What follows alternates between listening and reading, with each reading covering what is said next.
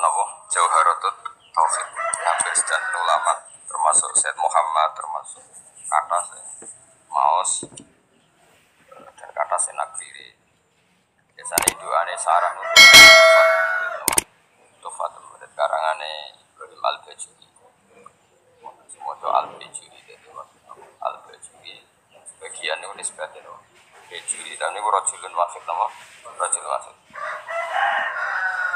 Alhamdulillah utawi sakabehane puji kulillahi kagungane Allah ala silatihi ing atase peparinge Allah. Sing pertama maca silah napa? Ala silatihi ing atase peparinge Allah. Ane diarani silaturahim penyambung rahim. Mana nyambung rahim iku nak iso yo ngekeki. Ora mau titip salam tok. Oh iso. Suma salam wa mongko titip salam ya Allah dan iki ma'a sholati.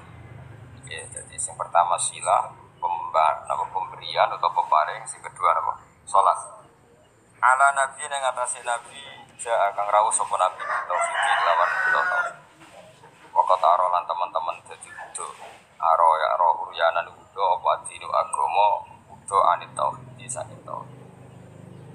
Maksudnya ketika Nabi rawuh semua yang mengatasnamakan sebagai agama itu pun terlepas saking tauhid. Kenapa wakot arot dinu? Anit tauhid jadi kepada Nabi Muhammad yang datang membenahi tauhid.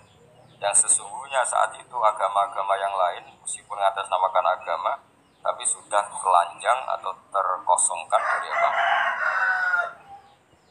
jadi resiko tauhid itu luwe apik timbang nuruti rasa. Karena kalau bolak balik fatwa bolak balik matur agama ora iso to barang apik napa? Itu nomor siji itu ilmu napa? Kok khusyuk itu nomor loro. Misalnya contoh gampang ini. Perasaannya wong khusyuk Mengenai kalau seneng teman ra khusyuk senajan tau yang ngerti ra krono ilmu pokoknya seneng. Mesti swata no swata ya turunan macam-macam. Agama nak digawa wong khusyuk itu mesti perasaannya ini nak apik ben Allah nak elek iku minasyaiton tak baleni nak apik iku min Allah. Nak elek iku minasyaiton karena gak siap saya ulang lagi gak siap menisbatkan elek pada Allah. Tapi teori wong khusyuk ini iku lali. Berarti gunaka di sana agamanya Allah di alam raya ini. Ono saltona ono kekuasaan di luar Allah itu ramikir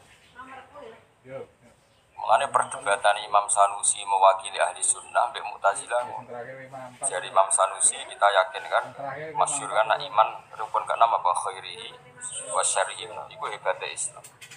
Islam itu agama yang paling idola Allah Paling mentauhidkan Allah Paling mentakbirkan Allah Paling memuji Allah. Tapi wasamono rukun iman itu khairihi wa syarihi Allah Iku gelem ra gelem raimu elek ya Allah Kowe goblok ora apal-apal ya kersane Allah. Mengane kiai ora iso tegas wong kersane Allah.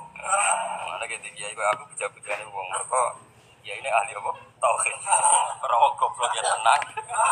Ora santri ra jelas ya tenang. Gali apa khairi. Itu nak pondok unggulan apa? Oh, ribet ana santri goblok ribet. Kurang ngaji loh. Kagian-kagian manajemen loh. Ben aku iman tenan yo khairi. Nah ketika Mu'tazilah mengatakan bagaimana mungkin Allah menghendaki syar Nabuha ta'ala naha anisari kaifa aroda Mu'tazilah masuk akal. Bagaimana mungkin Allah melarang keburukan kemudian dia menghendaki Apa? Kaifa aroda syarra wa huwa Bagaimana dia menghendaki keburukan. Sementara Allah melarang itu. Orang Mu'tazilah gak masuk akal Imam Sanusi ngendikan berarti waqa'a fi mulkihi ma la yurid. Apa? Waqa'a fi mulkihi ma la yurid. Berarti Allah sing jarene pangeran mimpin alam raya ini sering terjadi sesuatu di luar kendalinya.